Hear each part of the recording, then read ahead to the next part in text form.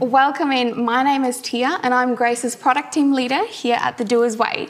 I'm going to be walking you through what my morning routine is to make sure that me and my team have a productive day and a good day at work. So the first thing I would do is make sure that I have a clean, organized work environment because who can work with a mess on their desk, first of all?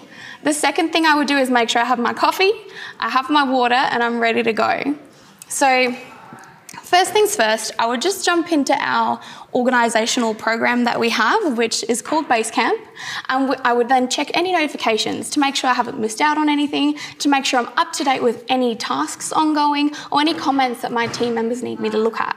That's the first thing I would do. Secondly, I would jump into my activity on our Basecamp program. That lists out all the tasks that I have scheduled for today. I'll write them out, have a really clear, good view of what I'm going to be attending to today. The next thing I would do, which is really important to make sure that my team also knows what they're doing, is I'd go over everyone else's tasks. I'd check over any overdue tasks so that we can discuss this in our morning huddle and just figure out what everyone's day look like, whether anyone else has any capacity to assist with someone that might have a really, really heavy workload, and we'll talk all, over all of that in our huddle in the morning. The next thing I would do is make sure I have all my tabs open. This includes a calendar, this includes our huddle spreadsheet number, which is where we track all our KPIs to make sure everyone stays on track with their goals.